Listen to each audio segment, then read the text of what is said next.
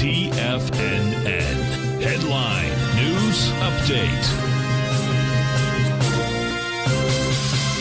Good morning, folks. This is Steve Rhodes coming to you live from the shores of what is right now.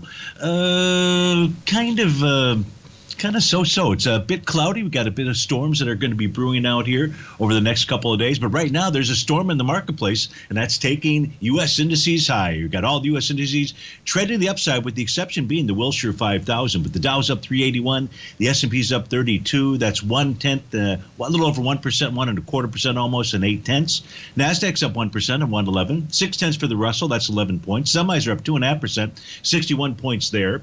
Gold is up over two percent, two and a quarter percent up 37 bucks. That's on fire. Silver's on fire as well. 3% to the upside, 65 cents. She's trading out of 21.57. Light sweet crude is off 28 pennies. Natural gas out 70 cents. That's down at 624.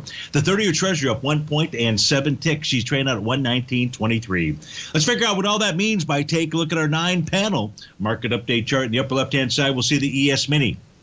Right now, trading into the top of the weekly profile, that's up at the 38.38 level. Pricing close above that. You should see a run for the top of that profile, 38.97. That's especially true with that spot volatility being below its 50-day exponential moving average. The 50-day is at 27.52. The spot trading out at 24.35.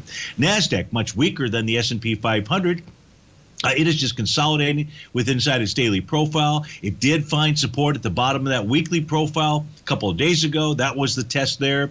Price should go target the 11,235 area. U.S. dollar index right now is trading below the bottom of its daily profile. The level that you're going to want to watch there is priced out at Give me a moment. Uh, 109.81. Now, the next level of support before this could signal a potential A to B equals CD down pattern, the level to be watching 109.36. That is the low from the trading day of October 27th. Gold is taking up. It is now trading above the top of its daily profile. That's at 1682. That would suggest a run to its recent highs. That's back on October 4th. That high's at 1738. I would say if gold clears 1738, 1779 is where you'd set your sights. In the case of silver. Nice A to B equals CD pattern. Uh, it is a strong move out here off of that C point.